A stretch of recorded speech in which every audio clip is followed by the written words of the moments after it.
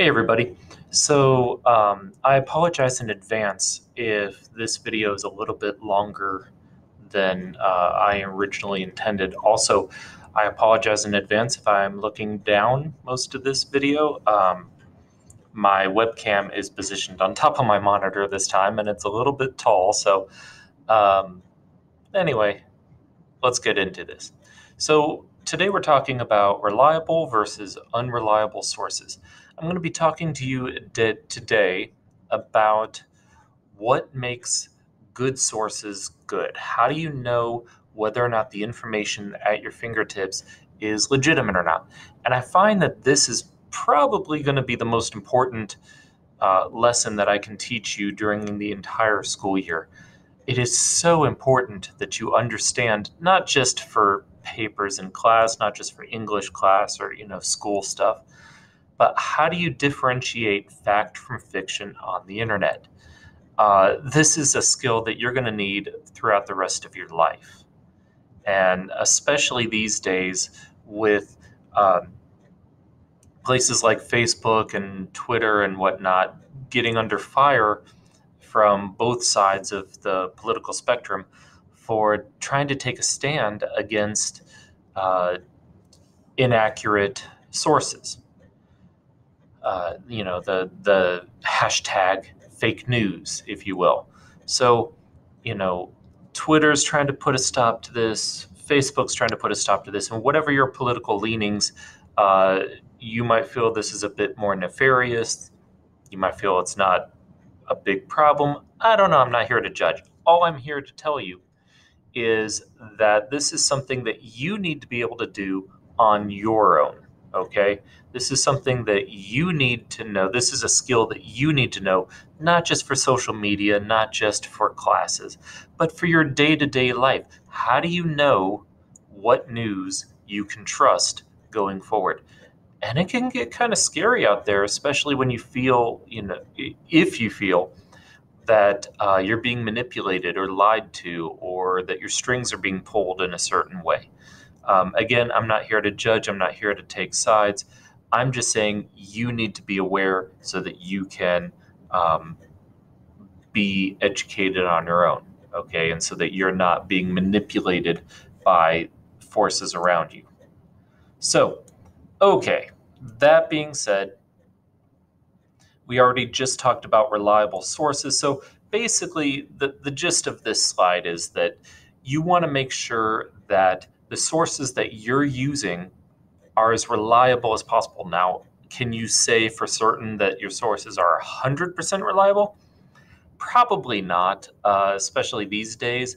It's much less likely that you're going to be able to say with any amount of certainty that your sources that you're using are 100% legitimate. Um, and we'll, we'll get more into that. But you do want to make the effort to demonstrate that your sources are. Oops, sorry, I'm trying to lift my chair up and it's not working. So we'll just deal with it. Um, you want to make sure that your sources are as legitimate as possible. Okay. Um, and there's a number of different ways that you can do this. The more, and we'll be talking about those in this video, the more reliable that you can make your sources, make your evidence, the much more believable you will be as a, a, person attempting to argue, and the more likely you will get others to listen to what you have to say. On the flip side, if you're one to be known to use sources that are questionable in nature, then the more you try to argue, the more people will tune you out and no longer listen to what you have to say because then at that point you kind of sound like chicken little you know? If you're constantly posting information from sources known to be uh, weak or known to be you know conspiracy theory type sources people will just be like oh it's that guy again. Um, but if you're one to be known to always fact check what you post and always use the most reliable sources that you can, then when you post something or when you say something or when you have an opinion, people will be like, oh, maybe I should listen to that person. Maybe they're onto something here. So keep that in mind. And Then we get into the Wikipedia battle. Not all sources are created equal.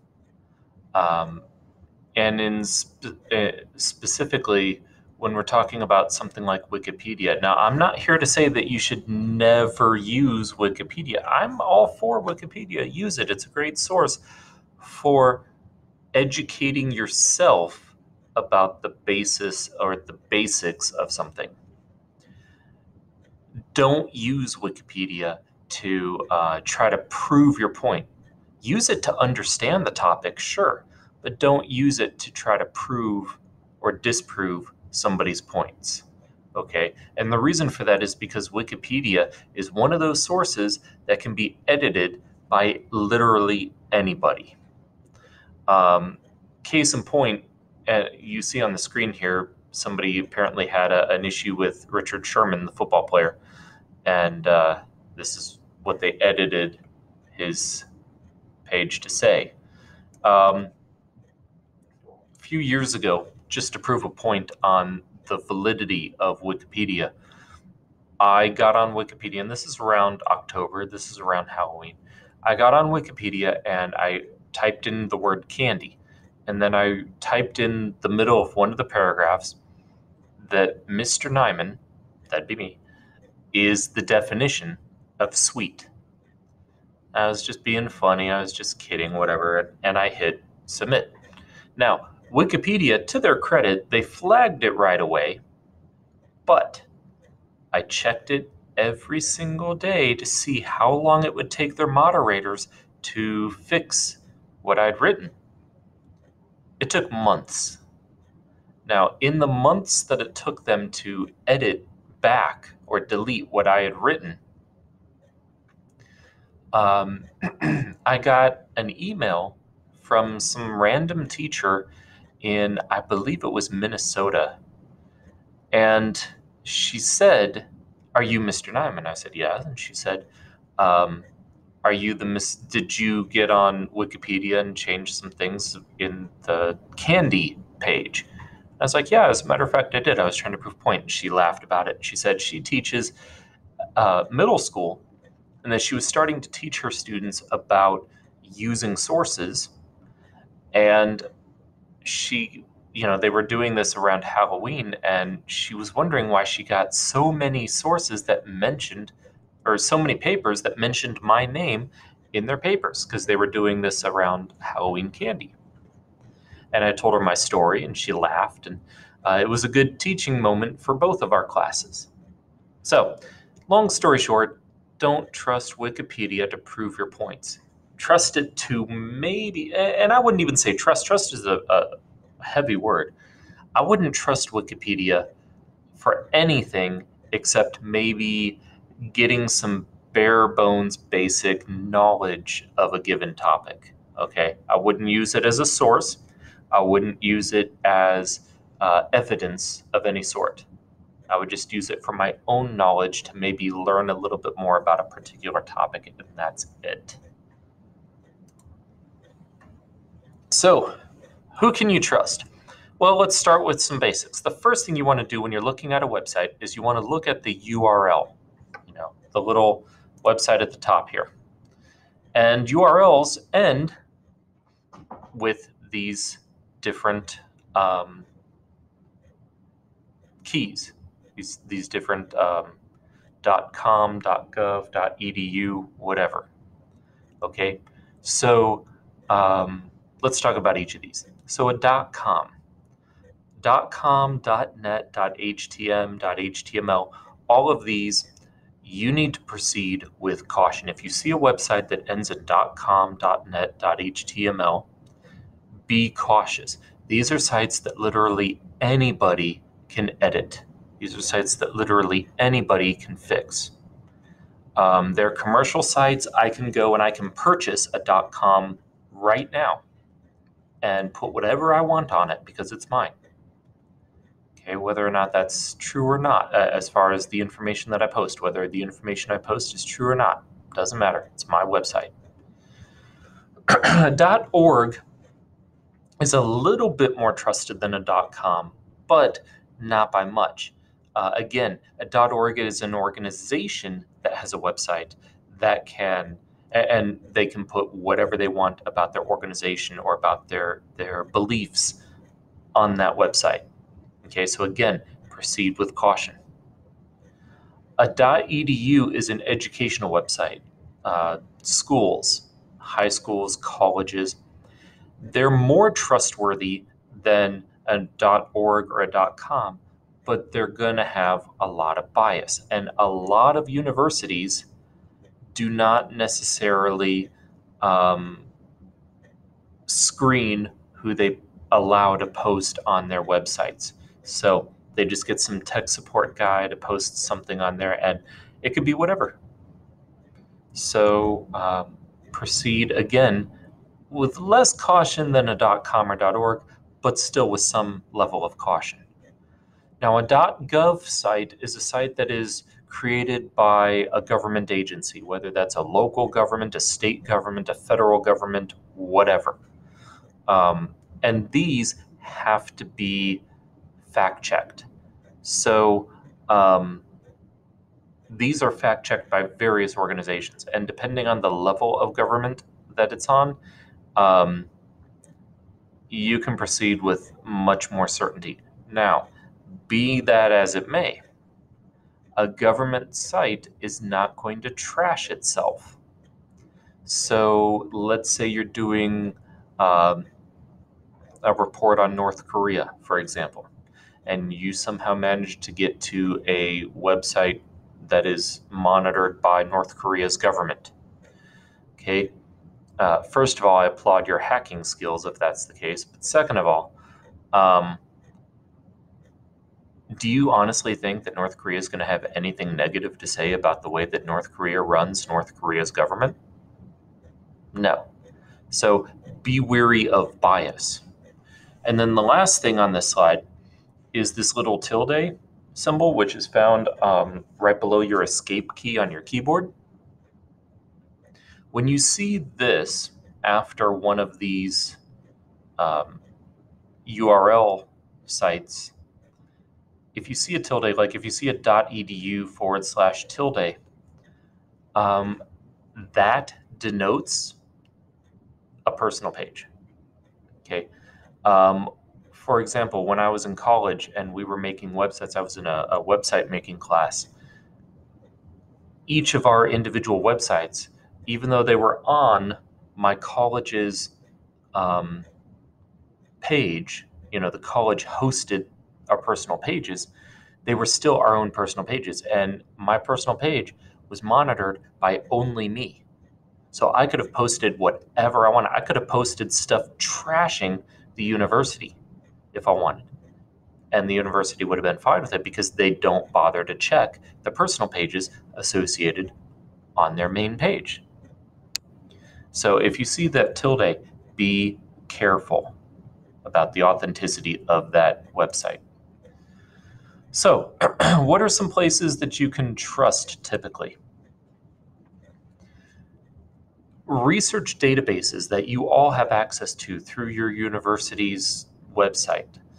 Um, these are fact checked. These are what is what is called peer reviewed.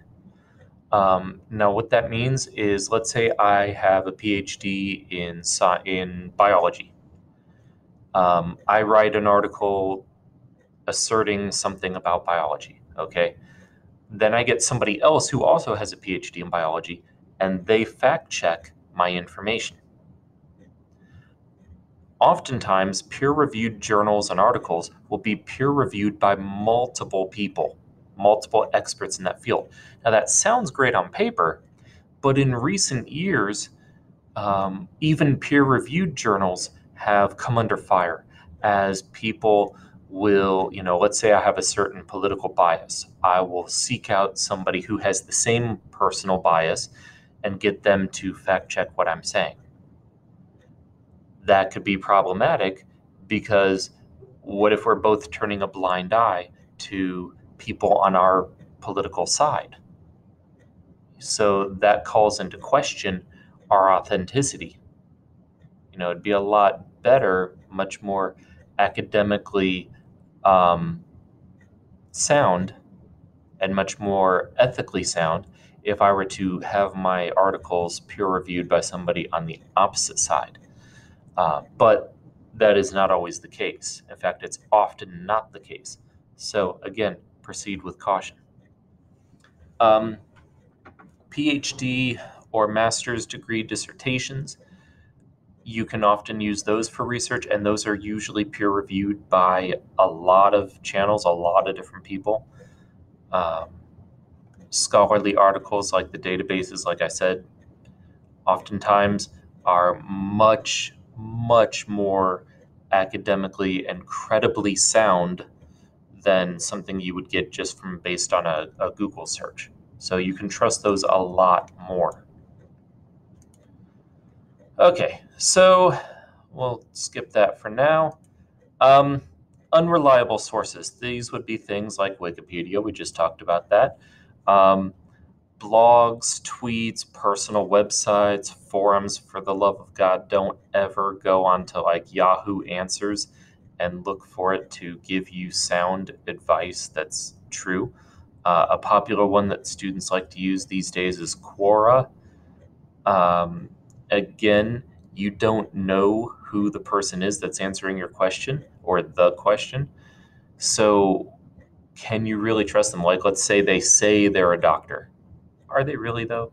I mean, you know, I can say that I have seven PhDs, doesn't mean that it's true. So, you know, again, proceed with caution. Um, okay.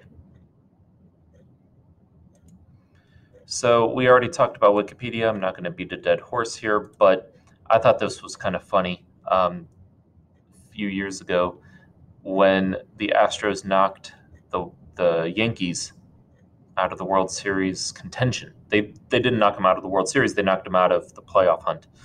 Um, Jose Altuve was kind of the MVP of that that season, and so uh, Astros fans made a joke to change the owner on the Yankees website to Altuve, you know, saying basically Altuve owns the Yankees. Okay, so let's talk about bias real quick. Bias is one of those like four letter words that people hear and they think, oh my God, bias. I can't have any bias. Bias is bad. And yes, bias is bad. But here's the truth of the matter we're all biased. Everything is biased. Everything has bias. And that's fine. Now, I'm not saying that you should ignore all bias. That's not what I'm saying. What I'm saying is, is don't freak out and assume that just because something has bias that it automatically doesn't have merit. If you find the bias in something, what that should tell you is that you need to tread carefully and try to find another source with an opposite bias and see where they agree. I find that in in my searches for information on the internet that the truth is often somewhere in the middle. It's not on the extreme right, it's not on the extreme left, it's not even on the left or the right. It's usually somewhere in the middle. Um, what I mean by that is not to say that a conservative site or a liberal site can't have truth. That's not what I'm saying at all. What I'm saying is, is that they are going to have truth that's going to be biased. And it's your job as a conscientious observer to spot the bias and try to sift through it to find the truth. For example, let's say that um, I have an article that is bashing Trump, okay? Uh, and then another article that is praising Trump. Both articles are talking about a specific area, a specific issue, a specific law that he allegedly passed or whatever, okay? Where's the truth in the article? The truth in the article is where these two articles overlap with their data, with their information. So everybody's got some bias. The question is, how badly does the bias affect the reliability of that source to give you the information that you need? Do they have an agenda? You know, if they're an extremely conservative site, they're likely to not bash conservative politicians. Same thing on the left. If they're a liberal leaning site, they're not going to likely bash liberal politicians. If, for example, um, a liberal site comes out and says this liberal candidate, this liberal politician is up to no good, that might be something to think about because they are uh, superseding their own bias to uncover some truth. Now, maybe they were strong armed into doing it because what this person did was so bad that it can't be hidden. I don't know. But it's something to keep an eye on. Okay? The question is to what extent is there bias?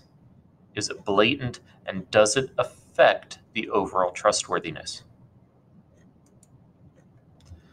So, all that to be said, uh, all, all, that said, um, what do you look for?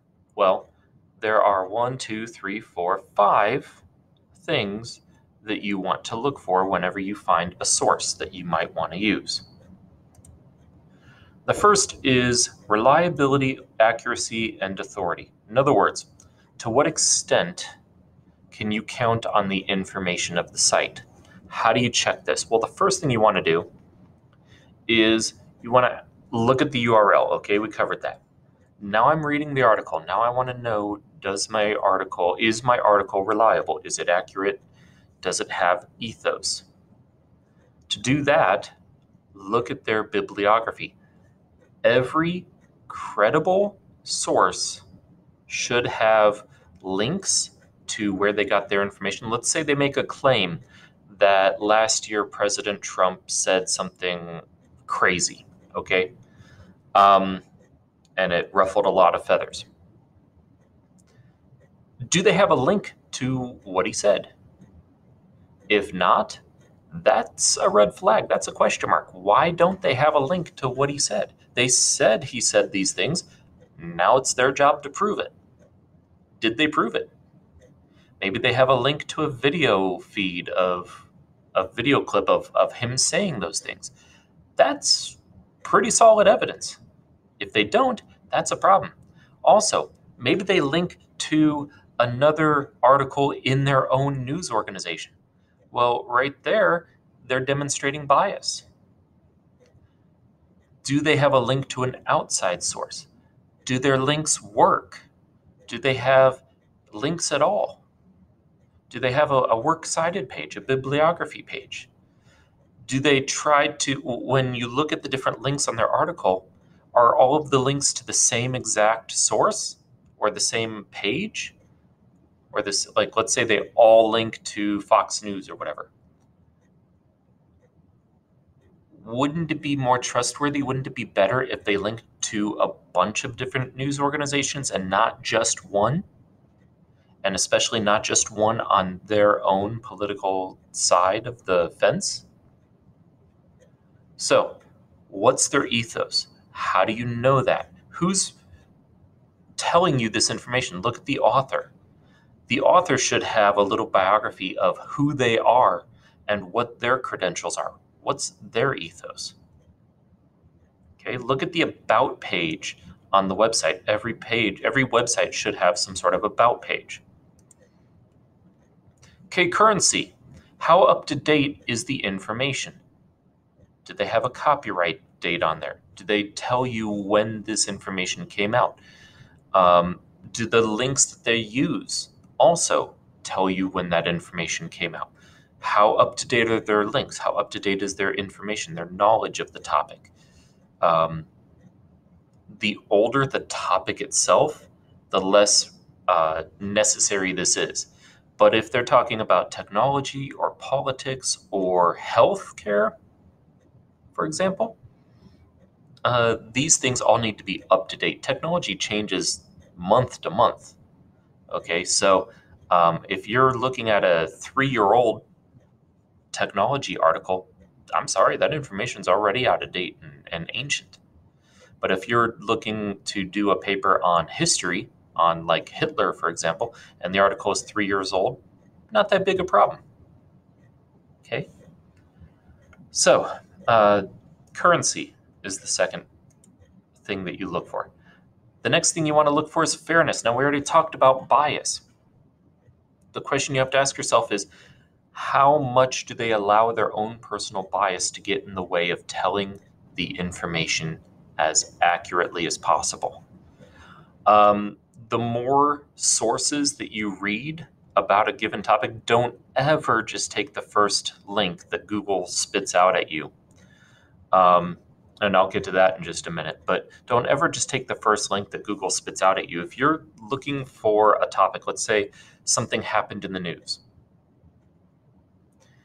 and you do a Google search on it, and one or two sources only only one or two sources cover it.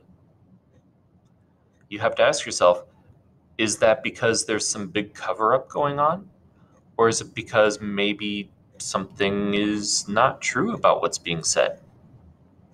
Maybe that thing didn't happen. Uh, celebrity death hoaxes, for example. Um, you know, if, if only one or two sources are saying that this celebrity passed away, did they really? I mean, I don't know. I guess it would depend on how famous that celebrity is.